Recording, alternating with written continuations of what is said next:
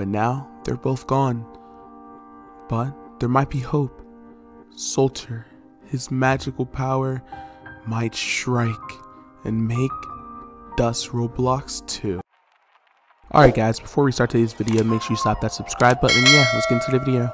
Alright guys, so today's video I'm going to be confirming that Dust is actually coming out. Now I have no dates or even a suggestion on when Dust might come out, but we're going to be using a screenshot, and if you don't know about this screenshot, then you've literally been living under a rock. This screenshot was on June 13th, 2021. Now, the top part where he added everyone really doesn't matter. What we're looking at is the bottom part, and I'll read it to you. We will start posting leaks when we are closer to releasing.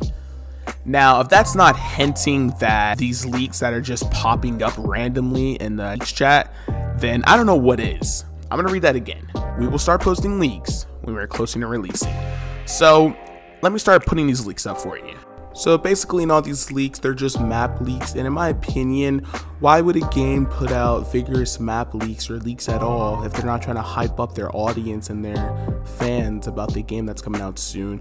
So I honestly think that this game will come out in 2021. And as the screenshot stated that all the leaks will be released when the game is soon to be released. And to release this amount of leaks, come on now. You have to have some common sense and understand that this game is going to come out pretty soon.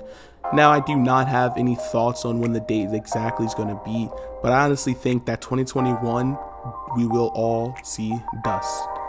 So if Dust comes back, I'm not really sure what Solter's going to do about uh, maybe giving people's in-game currency, or I don't think they can do that. Like actually, like, physically can't give people back their in-game currency, which is cool. But I honestly think that maybe people who bought the early access will get like some type of fund, like maybe like 10k in-game currency or anything.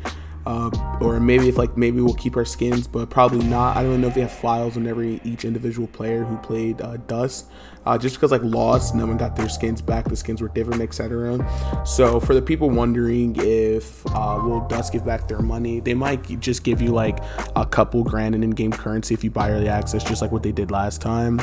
But if you enjoyed today's video, make sure you like, subscribe, and comment any opinions you have. And yeah, that's pretty much it. Bye. I'm still here. I love you, no homo. Nah, just kidding.